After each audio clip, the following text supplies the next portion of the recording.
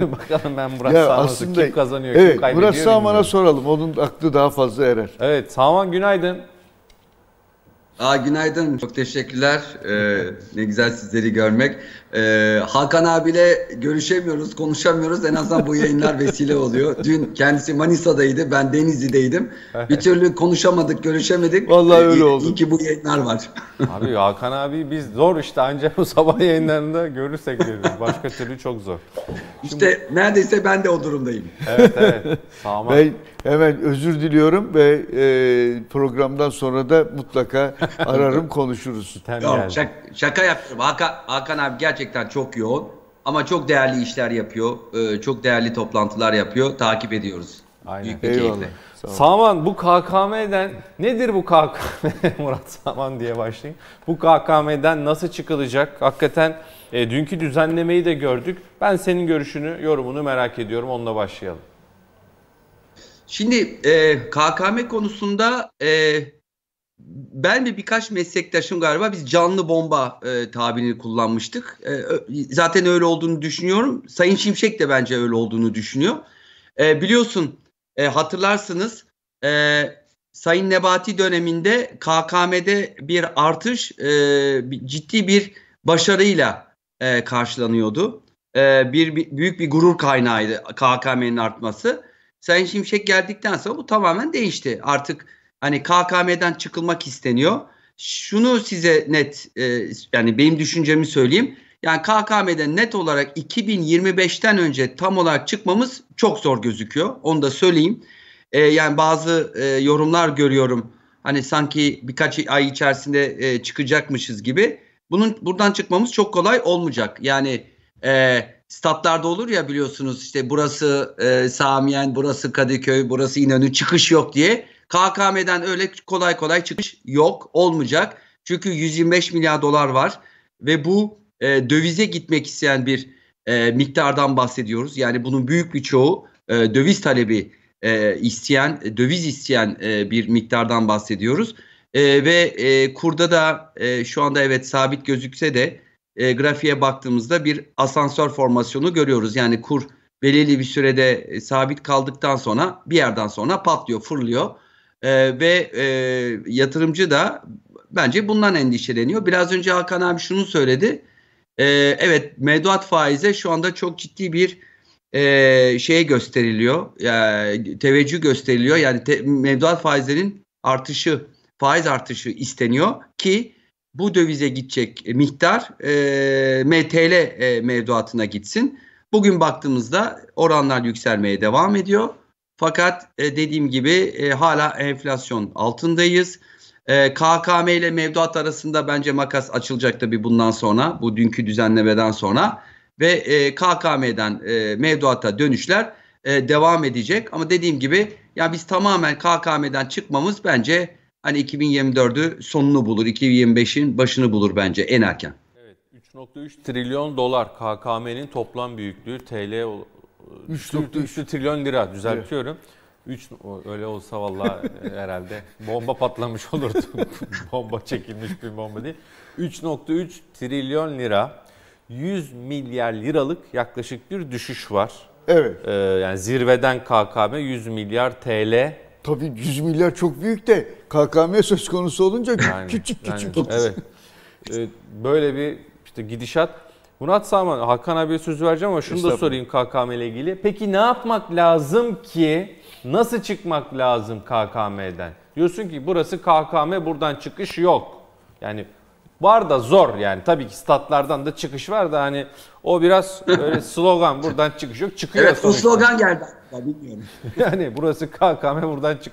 Yani tabii ki o slogan sonuçta herkes stat'tan çıkıyor. KKM'den de çıkacağız bir şekilde ama tabii, bravo, nasıl evet. çıkmak lazım? Yani bize ne olursa hangi yöntemle, hangi politikayla, ne yaparak, ne vererek çıkılabilir, rahat çıkılabilir?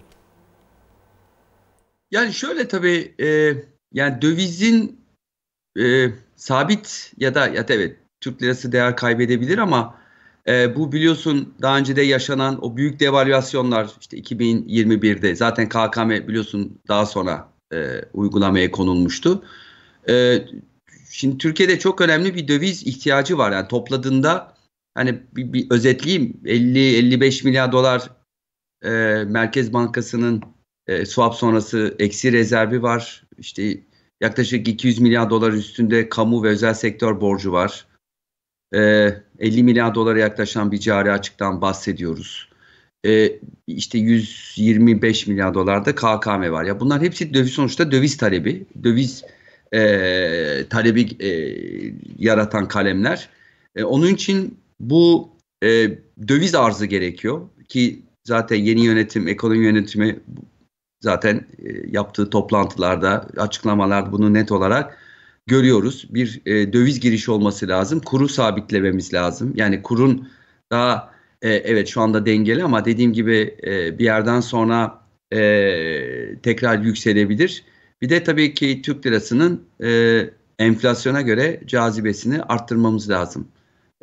Yani biraz daha yüksek belki de bir TL faizi vermek gerekiyor. Belki de bu oranlarda işte 50-55 şu anda e, duyulan işte oranlar 40-45 belki de kalıcı olarak 50-55 üzerine çıktığı zaman çünkü beklenen enflasyon seneye zaten 40-45'ten aşağı değil.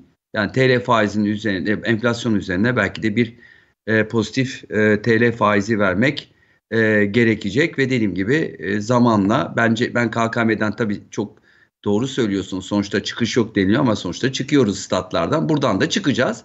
Ama bu çok e, kolay olmayacaktır. Biraz biraz süre işte 100 milyar TL azalmış sadece. Hani bu KKM'den gerçekten çıkış kararı bence tam olarak net herhalde iki ay önce alındı. Baktığın zaman da yani e, rakama göre ufak bir çıkışta aslında rakam olarak büyük ama e, e, büyüklüğe göre daha küçük çıkıştan bahsediyoruz. Bu devam edecek bundan sonra.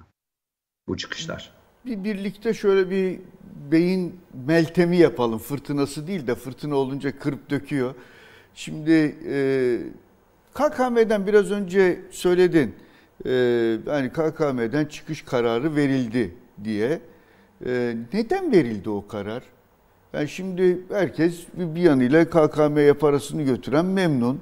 E, dövize gidişi de belli oranda e, engelledi mi? Engelledi baktığın zaman böyle bir fonksiyonu da var. E hiç olmazsa şunu e, seçime kadar sürdürseydik. Niye bundan çıkış kararı veriyoruz? Acaba sürdürülebilir mi değil?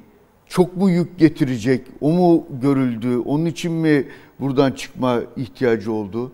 Bir yabancı bunu istemiyor diye bir laf var. Öyle mi bilmiyorum. Neden iste neden istemeyeceğini de e, belki bir konuşup tartışmak lazım.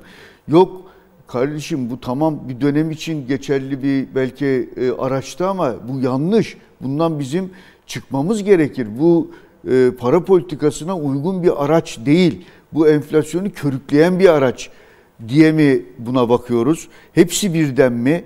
KKM ile niye uğraşıyoruz? Ben çok çok güzel e, e, e, şey yaptın. Çok güzel bir soru. Ben çok kısa bir cevap verebilirim. Ya bunun cevabı çok kısa bende var. Şu şunun için var. Hakan abi bu KKM yüzünden e, kamu hazine şu anda bir bütçe yapması çok zor. Hmm. Niye çok zor? Yani bilinmeyen bir harcama olduğu için kamu için. Hadi şimdi evet Merkez Bankası'na kaydırız. Bu arada sesim geri geliyor. Arkadaşlar düzeltebilir mi bilmiyorum. Ee, Merkez Bankası evet şu anda şey oldu ama sonuçta bu da bir parasal genişleme. Ama sonuçta yine e, hazine e, burada maliyeti e, uzun vadede katlanıyor. Bence e, görünmeyen bir kalem olduğu için ve hem merkez için hem hazine için e, bilinmeyen büyük bir risk ve harcama kalemi olduğu için bir belirsizlik yarattığı için bundan çıkış e, kararı e, alındı. Zaten zamanda biliyorsunuz e, rahmetli Özal da biliyorsunuz bu DÇM vardı e, Hakan abi. Sen de çok iyi hatırlarsın. Ben yani sonuna gelmiştim. E, biraz e, orada e, zaten bununla ilgili e, sıkıntılar yaşanmıştı ve inşallah bir daha buna benzer bir ürün inşallah ileride e, uygulamaya konulmaz demişti. Çünkü dediğim gibi hem belirsizlik e, yaratıyor hem de kamu içinde işleri daha da zorlaştırıyor. Ben ondan e, çıkış kararı alındığını düşünüyorum. Peki e, aklımda böyle tartıştığım tabii piyasanın da tartıştığı bir şey daha var. Şimdi 500 bas puan bir faiz artışı yapıldı. Bunun matematiğini anlayabiliyor musun? Yani neye göre 500 bas puan? 750 olsa ne olacaktı? 1000 olsa ne olacaktı? 600 olsa ne olacaktı? Ee, bunu bir sorguluyorum ve tabii ki e, kurlar üzerinde bir baskı oluşuyor mu, oluşmuyor mu? Gözlemin nedir? Bu bütün bu faiz hareketleri, KKM hareketleri, öbür tarafta e, petrolün e, petroldeki hareketle desteklenen enflasyon. Bu çerçevede bakınca kurlar üzerinde nasıl bir eğilim görüyorsun? Ya şöyle tabii şimdi 5 baz, baz puan yapıldı. Bu tabii ki PPK'nın kararı ama şimdi 600 olsaydı niye 500 değil diyecektik. İşte 400 olsaydı niye 500 değil diyecektik. Bence burada tabii ki bir hedef var. Ben hedefin 40 olduğunu düşünüyorum. Ee, onun için kalan 3 toplantıda yani bunu bölüşeceklerini yani 500, 250, 250 yapılabilir. Ya da bilmiyorum e, belki de e, 40 değil de 37,5'ta bırakılabilir ama yani 35 ile 40 arasında bir seviyeye gideceğimizi düşünüyorum. Onun sebebi de gelecek sene e, enflasyon beklentisi e, 33. E, zaten Merkez Bankası'nın OVP'de de e, böyle bir beklenti var. Yani bunun üzerine bir pozitif reel faiz gerekiyor zaten enflasyon düşürmek için. E, e, özetlemiş oldun mu Hakan abi? Başka yani faizle ilgili e, bir de bence ne? Yabancıları mı? Yani e, yabancılar konusunda da ya dövize baskı var mı? Biraz daha yani benim e, görüştüğüm, e, bilgi aldığım e, ya biraz daha önüm, ön, önümüzü görmemiz gerekiyor. Biraz daha uzun vade. Ya özellikle şunu da duymaya başladım. Ya bir yani seçimi bekleyelim. Yani bir seçimi görelim. Yani seçimden sonra e, bu politikalar devam edecek mi etmeyecek mi? Acaba bu seçime yönelik mi? Ya da acaba Kasım Aralık'ta Sayın Cumhurbaşkanı 22 yılda yaptığı gibi seçimden önce gaza basmak isteyecektir. Bu sefer Sayın Şimşek engellemeye çalışacak belki de çünkü yapılanlar var. Acaba burada bir sorun olur mu diye.